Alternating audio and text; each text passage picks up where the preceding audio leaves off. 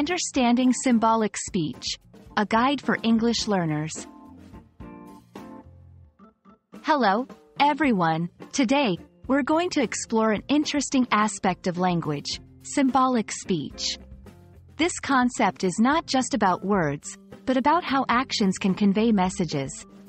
Let's dive in and understand how symbolic speech plays a role in communication, especially in English. Symbolic speech refers to actions or behaviors that express ideas or messages without using words. It's a form of nonverbal communication where actions speak louder than words. For example, a peace sign made with your fingers can symbolize a desire for peace, just like saying, I want peace, in words. To understand symbolic speech better, let's look at some common examples.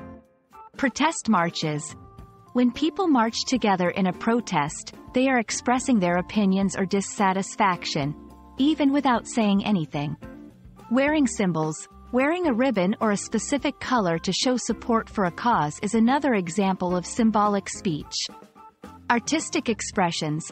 Paintings or sculptures can also be forms of symbolic speech, conveying deep messages through visual art.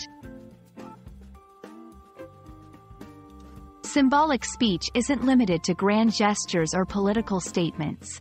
It's part of our everyday life.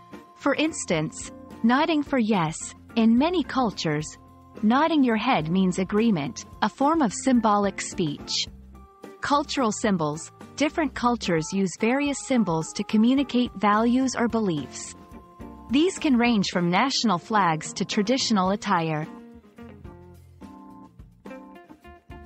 In many countries, symbolic speech is protected under free speech laws. This means that people have the right to express their opinions through actions, as long as they are not harmful or illegal. It's important to understand the legal boundaries of symbolic speech, especially in different cultural and legal contexts. Symbolic speech is a powerful form of communication that goes beyond words. Whether it's through a silent protest or a symbolic gesture, it allows us to express complex ideas and emotions, we hope this video has given you a deeper understanding of symbolic speech and its role in language and communication.